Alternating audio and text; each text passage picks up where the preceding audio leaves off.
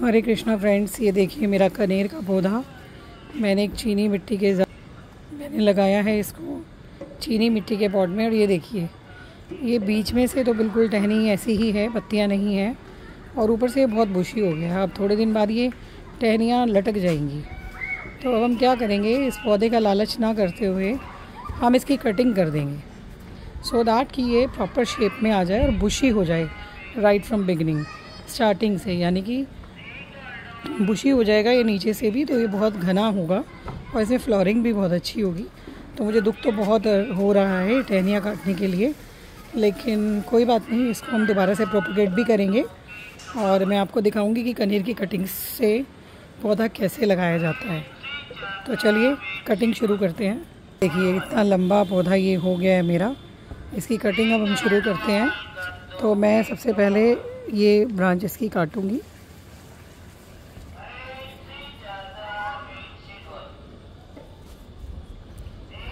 इसके लिए प्रॉपर पौधे का कटर ज़रूरत पड़ेगी, ऐसे कट नहीं पाएगा। मैं तो ये देखिए, मैंने कटिंग कर दी है इसकी। और ठीक ऐसे ही मैं सारी टहनियाँ इसकी काट दूँगी। एक बार तो बहुत दुख होगा फ्रेंड्स लेकिन क्या करें, पौधे की ग्रोथ के लिए ज़रूरी है।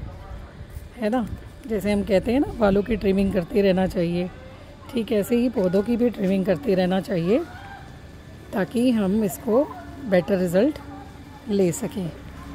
ये देखिए फ्रेंड्स कैसे गंजा गंजा लग रहा है ना मेरा प्लांट था सुंदर, अभी थोड़ी देर पहले ये हरा भरा था। और अब ये बिल्कुल सूखने जैसा लग रहा है। लेकिन कोई बात नहीं, ये प्रूनिंग मुझे पहले ही कर देनी चाहिए थी बरसात के मौसम में। मैं थोड़ा लेट हो गई हूँ प्रूनिंग करने में। पर कोई बात नहीं। तो इसको भी हम काटेंगे, देखते हैं कैसे कटेगा ये।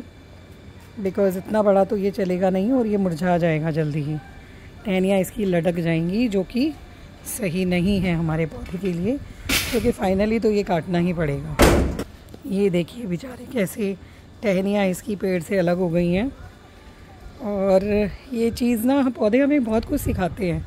आप थोड़े दिन बाद देखिएगा, अगर मैंने इसको रिपोर्ट नहीं किया ना, टहनियों को प्रोपोगेट नहीं किया तो ये बिल्कुल मुरझा जाएँगी। तो इससे हमें क्या शिक्षा मिलती है? कि कभी भी हम अपने पेड़ से अपनी जड़ों से अलग होकर के नहीं सरवाइव कर सकते है ना? पर खैर एनीवे anyway, फ़िलहाल हम ऐसा नहीं सोच सकते और हमें अपने पौधे को अच्छी शेप देनी है तो इसलिए कटिंग तो करनी पड़ेगी। दिल को मज़बूत करना पड़ेगा। और ये देखिए जहाँ से भी कटिंग हो रही है ना ये नोड्स एरिया जो है यहाँ से रीशूट कर जाएगा ये और बहुत बुशी हो जाएगा। तो इसको बुशी बनाने के लिए बहुत ही ये स्टेप लेना बहुत ही ज़रूरी हो जाता है।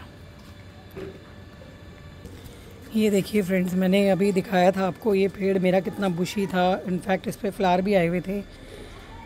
तब कितना सुंदर ये पेड़ लग रहा था। लेकिन हाँ ये थोड़े दिन बाद ये झुकने लगता है। देखिए, टहनियाँ वज़न से झुकने लग गई थी।